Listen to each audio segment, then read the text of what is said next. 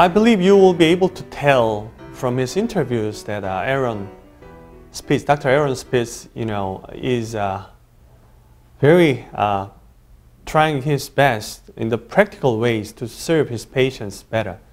Well, not just his own patient, but the other patients as well. Uh, in medicine, make it simple and speaking it speaking about medicine in a plain word is way difficult than many things. So it takes a lot of time to find the proper comparison and to make the complex, you know, those concepts into the simple, uh, singular, I would say, uh, uh, concept. So it takes a lot, a lot of time and outside of your practice.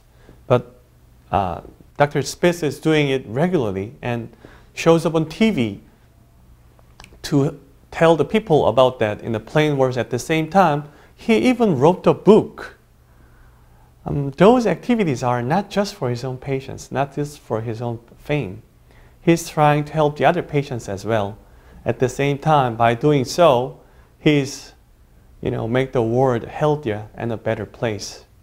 I deeply admire his enthusiasm toward uh, do the better good. So um, hopefully I could do the same thing.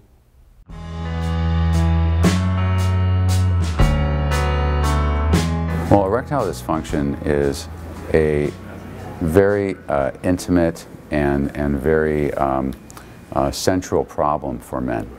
Uh, and it really can strike the man to his core because it affects not just the ability to have sexual intercourse, but the ability to establish an intimate relationship.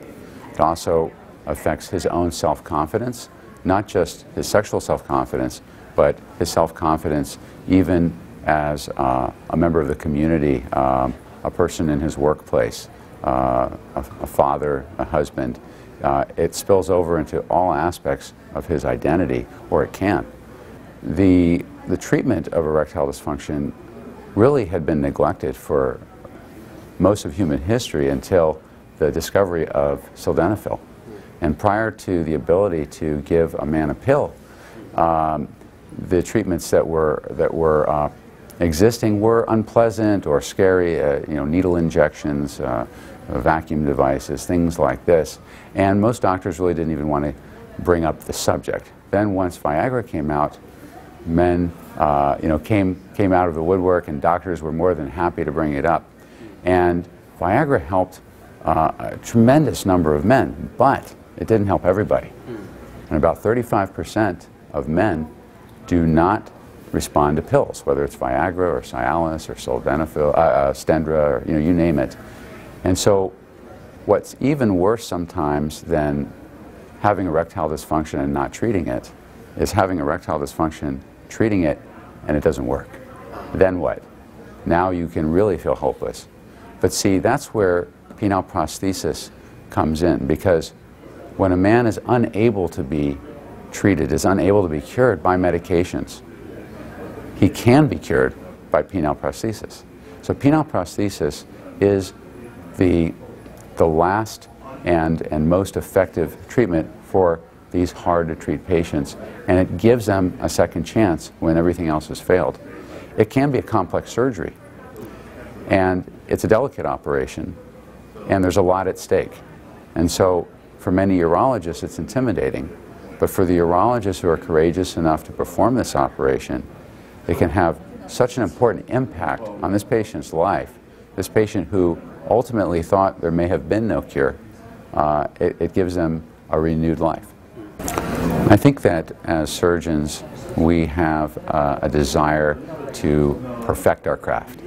And perfection is never attained. Uh, perfection is, a, is an ideal, um, and so we're always pursuing a refinement. And as much as I know and as much as I do, uh, I'm always able to learn from others and their experience. Um, no two patients are the same. And the more experience that my colleagues collect uh, and then report back on, uh, the better prepared I am for that next patient who presents with an unusual presentation that I might not have seen before. Or the more confident I am that I am on the right track providing the best possible care for my patients.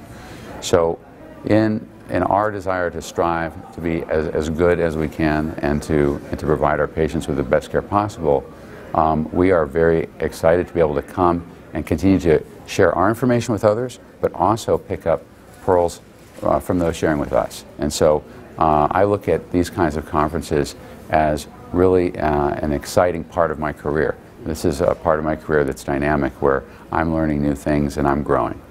I think that we are in an evolutionary phase with our um, perception about the treatment of ED. I think that the advent of Viagra really uh, took away a lot of the shame, but it didn't completely eliminate the shame because uh, the treatment for ED uh, is very, very recent in the uh, timeline of human history, and I think that sex and issues about sex and difficulty with sex uh, have been stigmatized um, for uh, generations. And so to now have this new enlightenment, this new understanding uh, about ED as a medical condition, as a physiological condition that is not the fault of the man per se, is, is still very young in human understanding. And so even though we physicians don't think it's stigmatized, I think that there are a large number of men who feel very stigmatized and who they themselves would not feel comfortable revealing this problem to anyone else. And it takes still a lot of encouragement and support and understanding to bring these men to the doctor's office, even now. So even though doctors may not feel stigmatized, I think patients definitely still do. I think the greatest reward is actually that one-on-one -on -one conversation with the patient after he's completely recovered from surgery and is enjoying a normal, healthy sex life. Uh, when you ask him how it's going, and he looks at you and says, it's great, it's fantastic, and even better yet, if his wife is in the room or his partner's in the room, you just know that because of what you did and the time and effort you put into becoming an expert so that you could do this for this person, you've given them an aspect of the human experience that is so valuable and so important that, that they would have been denied of any other way. Uh, it's really gratifying to know that you had that impact on somebody else's life, on, on two people's lives.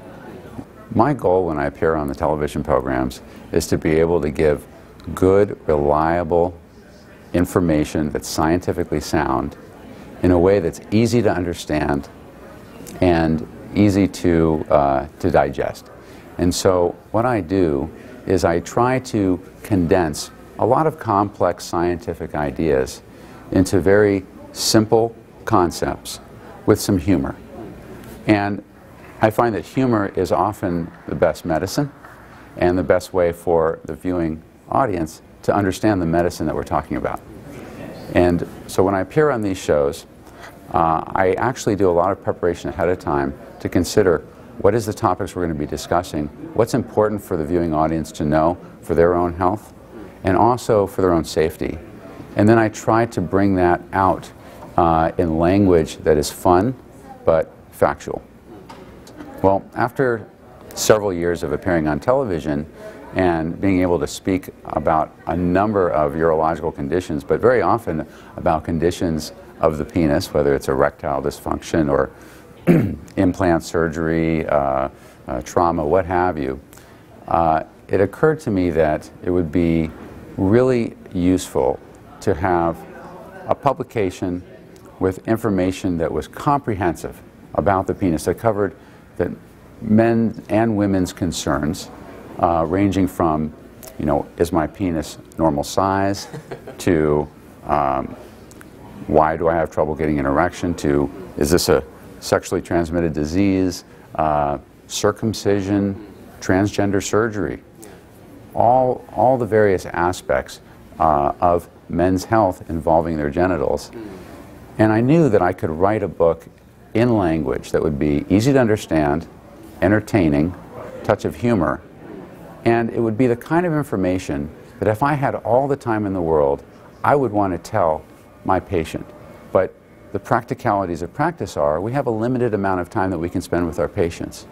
And so this book has the kind of information that when I see a patient who has a given condition involving their penis, if they take a look at that chapter or that section of the book, it's going to tell them everything I wish that I had time to tell them with illustrations and give them a really deep, solid understanding of their own condition. Or give them a, see, a deep, solid understanding of why, in fact, they are normal and they don't need to be anxious or they don't need to feel stigmatized. Because a lot of, a lot of uh, misinformation is out there online or you know, just, just passed down, and many men feel woefully inadequate about their genitals, which are totally normal.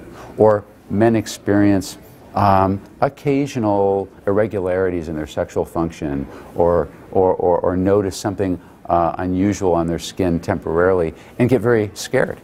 Get very scared that they have uh, a significant disease or maybe cancer or something's wrong with them neurologically, and it's just normal variation. So a lot of that is addressed in the book as well. Um, but uh, I feel that this book is really a, uh, a useful uh, tool to educate the public, um, useful not only just for casual reading, but even useful as a tool for physicians to, uh, to provide for their patients.